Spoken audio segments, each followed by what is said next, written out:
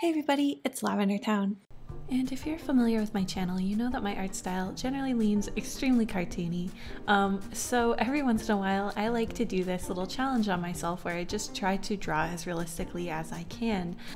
I always use this as a reference. Um, this is just my character in my normal, most cartoony style that I use for my webcomic Unfamiliar. This has been what I've been trying to make realism off of since I started this challenge um, in 2017. Now, the 2017 version looks like this, and honestly, I'm pretty embarrassed. I knew even at the time that it wasn't like very good, but um, I think I didn't really even fully understand how far from realism this drawing was. I didn't use any references whatsoever when I tried this challenge the first time, um, and I didn't give it a lot of time either, and I think that really shows. My next attempt was in 2019, and I know that this one I really wanted to try and deal with how flat the first one was, um, and also try to deal with some of those facial proportions, which were just like wildly out of um, out of range of what could be considered even close to realism. Um, again, I didn't use a ton of reference. I had a couple pictures, I think, of like some uh, relatively photoshopped, like Instagrammy kind of girls, um, but I didn't really use, use them as reference properly. I kind of just looked at them and was like, okay, now I'm going to paint the portrait. Um, I really wasn't very good at using reference. Um, I was very scared of copying too directly off of reference. It's something that I think I developed a fear of early on in my art career, well before I went to art school. Um, so I, yeah, I didn't really use reference very well either, but I was much more cognizant to trying to create some sort of like actual form where it looks like her, you know, her face has like some sort of three dimensionality. It's still extremely stylized. There's no getting around that, but it's a clear improvement from my first attempt. And lastly, here is my 2020 attempt. Um, honestly, I do think this is the best one so far, though, like personally, for my own eyes, I actually prefer the 2019 version. Um, in this version, I really, really, really tried to push, um, again, that like structure of the face.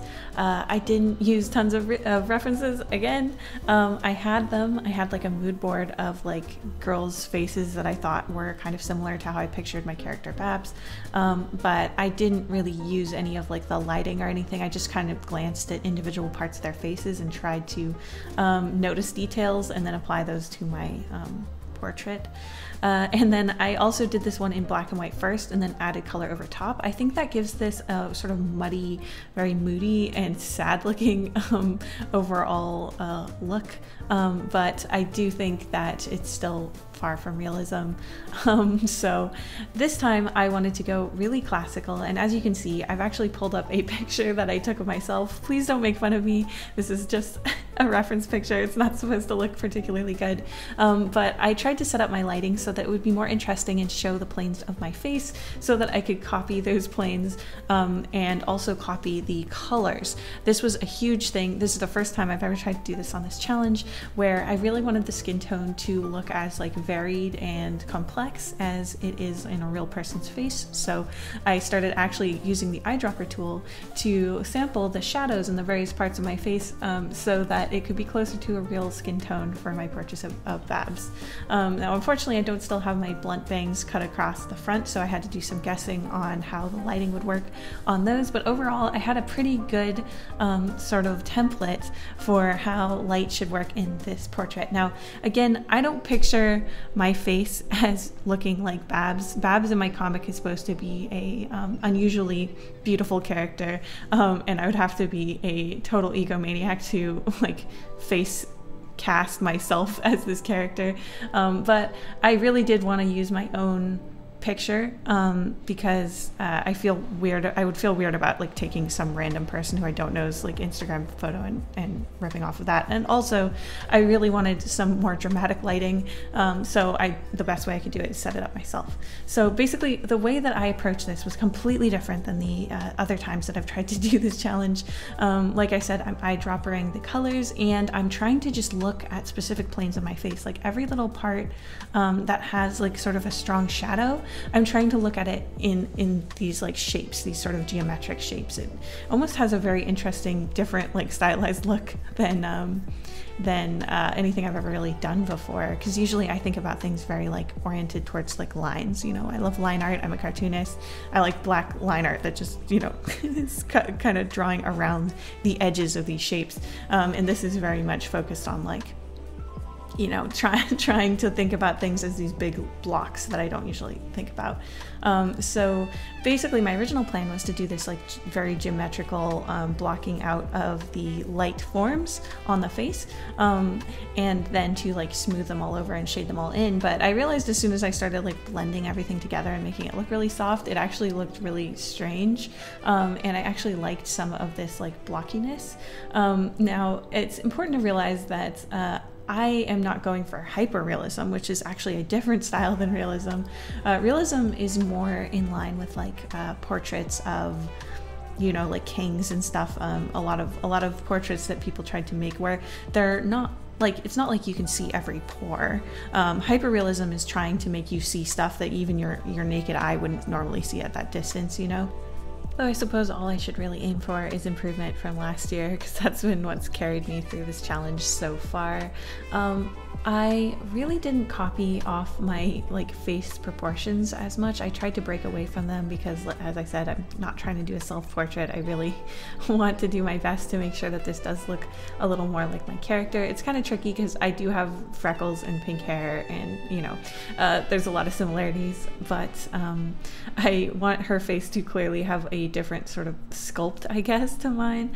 Um, so her eyes are a bit bigger. I changed her nose around um, and I actually changed like her gaze. Like in in the original um, idea I had, I wanted her looking more up, so that's why I took a picture looking up. But um, I actually wanted her to look more towards the camera as I started to paint it. So um, generally, I actually just like dropped the whole um, perspective of the face. Uh, it's looking a little bit more down. I also thought this might help me sort of morph the proportions a little bit. Um, so it makes her uh, eyes look bigger because if, you know, my eyes look bigger in this picture because I'm looking up, but as I've dropped her gaze, now it just looks like her eyes are, are naturally bigger than mine. Um, that's kind of something I, I thought I would try. I don't know if that's like a good tactic or anything, um, but it's definitely something I, I gave a shot to.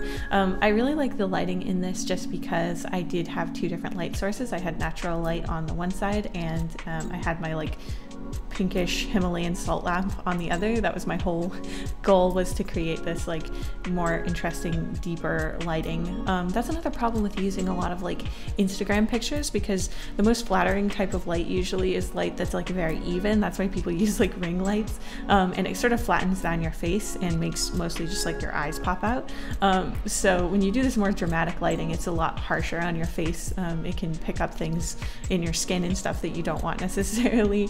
Um, but for portraits, it's really great um, because it's really showing you all of those little angles. So that's what I tried to focus on here. Um, I also closed her mouth. My mouth is like a little bit open in the uh, image, but I wanted to uh, just make her have more of a less of a vacant expression than the one that I'm doing. Um, and honestly, by the time I got to her like outfit, I was just sort of like throwing down blocky stuff. Again, I really like doing the like um, the Sargent kind of type of portraiture where you put all the detail in the face and then everything else sort of fades out a little bit. I think that that looks the coolest and it also allows me to focus on the thing that I like to paint the most, which is the face. Also, at this point, I'd been working on this for over an hour. I think it was like an hour and 30 minutes by the time I was all um, said and done. Uh, and I just really couldn't stand to look at it anymore. I'm used to the turnaround on my art being so much faster than this, or at least having lots of different like sittings. Um, but this one I had to do all in one go, and I was just getting worn out. um, so I really feel like I I do feel like I improved overall, I will say, um, from my last one.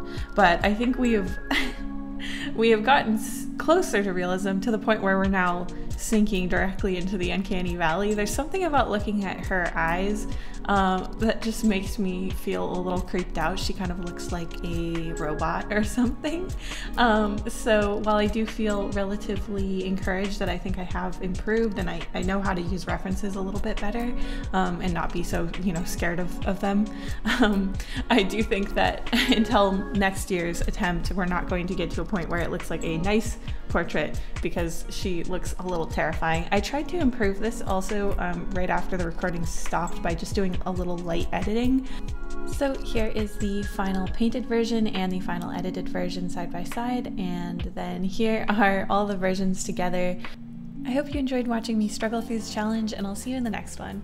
Thank you so much to my wonderful patrons, including Neurocherry, Sunshine, Weekly Meat, Kelly Halsey, Kubaroshi, Moon Milk, Alana the Artist, Rylan Parker, Rylan, Kadaria, Something Super, Deadly Nightshade Art, Maria Vasquez, Astral Fox Art, Middle Z, Alilia Lur, The Espressive Poker Face, Morrissey Axolotl, Chris Strauss, Kai Kisser, Subaki, The Becky, Liliana Hammondtree, Yav Lavali, Angel File, Cutie Pie, Ruined Rain Crow, Rainwater Pearls, Ice Cream Pal, Lion, Valeria Louie, Nora Cornelison, Cola, Rachel Singh, Your JJ Jade, and of course, Lip Lip Lip